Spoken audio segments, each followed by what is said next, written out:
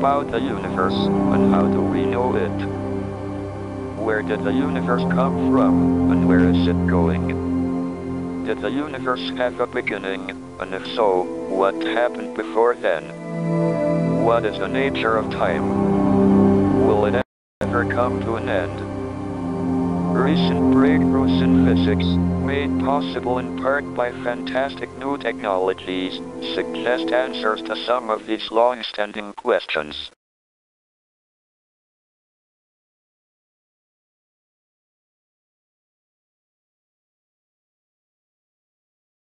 I went to hospital for tests, and was diagnosed with ALS, or motor neuron disease. Shortly after I came out of hospital, I dreamed that I was going to be executed. I suddenly realized there were a lot of worthwhile things I could do if I was reprieved.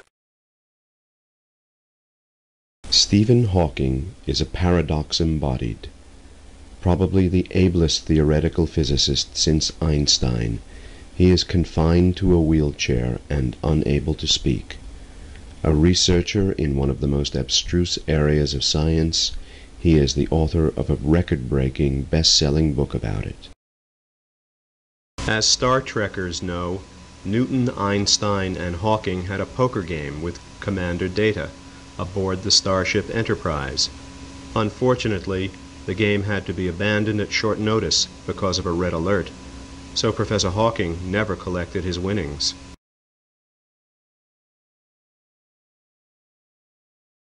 I communicate with a computer system in a box in the back of my wheelchair. This system was put together for me by David Mason of Cambridge Adaptive Communications. On the computer, I run a program called Equalizer. A cursor moves across the upper part of the screen. I can stop it by pressing a switch in my hand. In this way, I can select words which are printed on the lower part of the screen. When I have built up a sentence, I can send it to a speech synthesizer. I use a separate synthesizer, made by Speech Plus, a division of Centigram Communications Corporation. I can save what I write on disk. I write papers using a formatting program TeX. I can write equations in words, and the program translates them into symbols, and prints them out on paper, in the appropriate type. I can also give lectures.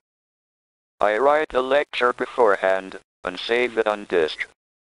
I can then send it to the speech synthesizer, a sentence at a time. It works quite well, and I can try out the lecture, and polish it before I give it. In a similar way, I can make a CD-ROM. But to do this, I need a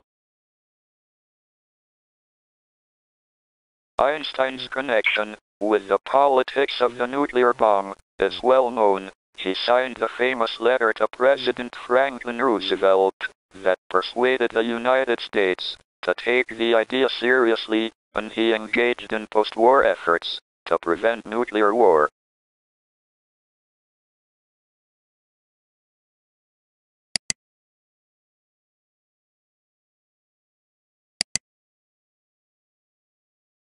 Here is an example. A well-known scientist, some say it was Bertrand Russell, once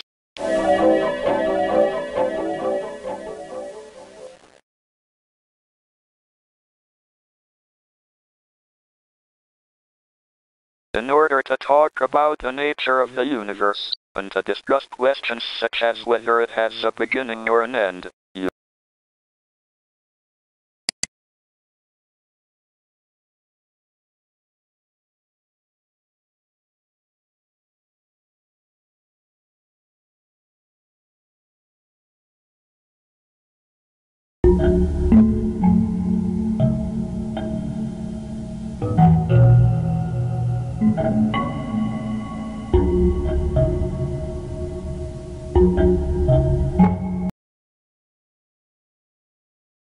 explain something to you?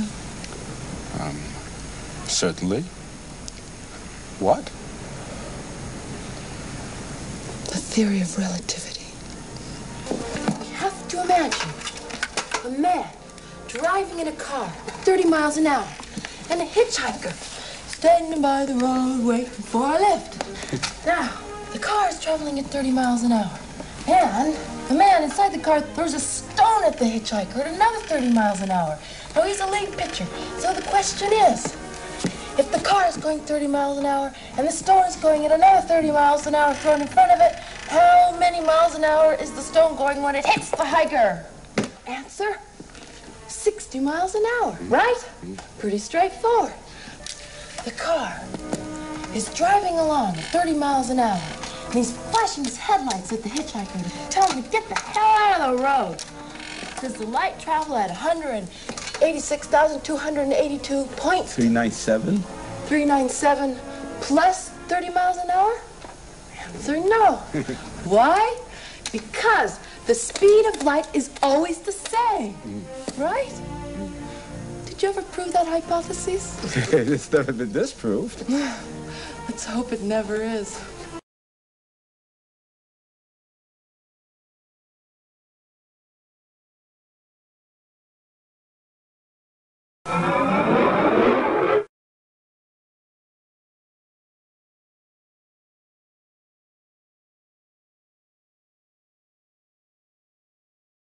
Our destination is Cygnus X1, believed to be a black hole. You are navigating the Hawking craft. Feel free to explore.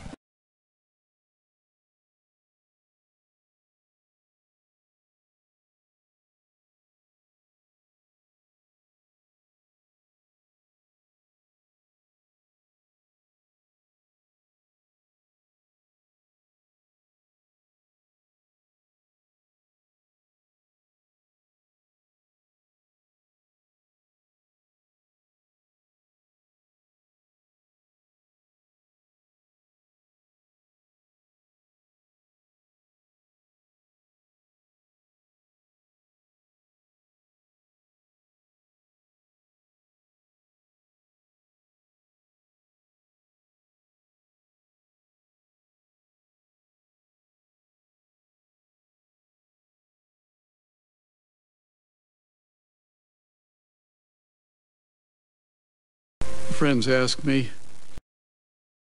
well, if a black hole is black, how can you see it?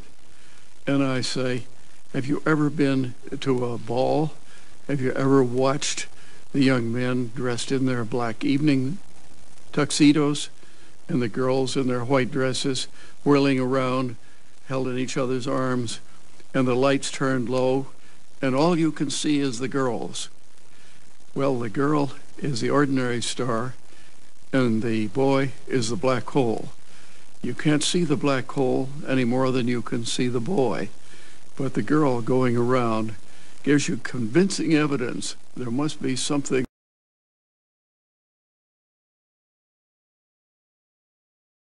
We had this meeting at the Institute of Space Physics in New York. I said before